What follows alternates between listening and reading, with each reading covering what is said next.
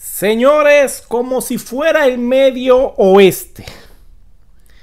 Estos dos jóvenes llamados La Boa y La Mezcla se enfrentaron esta mañana en Vita del Valle, allá en San Francisco de Macorís. Cada uno jaló su cañón.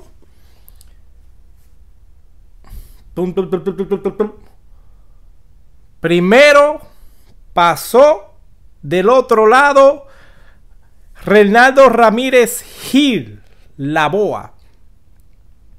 En el lugar de los hechos, quedó ahí mismo. Hora después, resultado de los impactos que recibió Jordi Spin Roja, alias La Mezcla, también partió. Los dos con algunas horas de diferencia. ¿Qué pudo haber sucedido para que estos jóvenes en Vita del Valle se enfrentaran así? Dicen que hay más personas involucradas.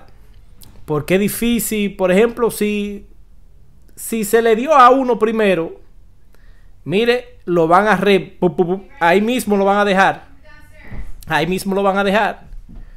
No creo que se vaya a tener tiempo después que fue impactado y que jalar y tirarle al otro. Es raro. Parece que ahí había más personas eh, involucradas. Que lo, más probable, lo más probable que ahí habían otras personas involucradas. Porque es muy difícil que dos personas se enfrenten y los dos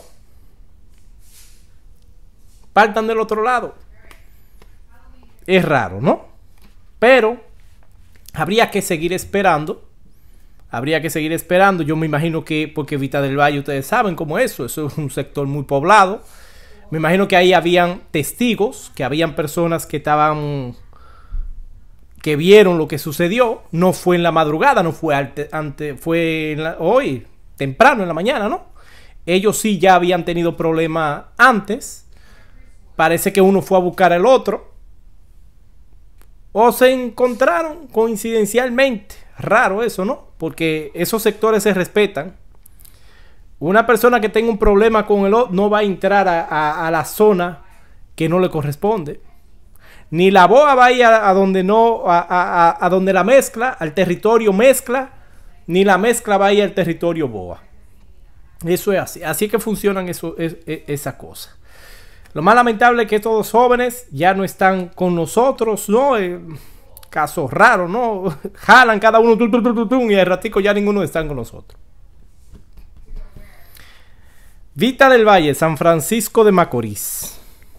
Mi pueblo, San Francisco de Macorís. Vista, no Vita, Vista del Valle. Gracias.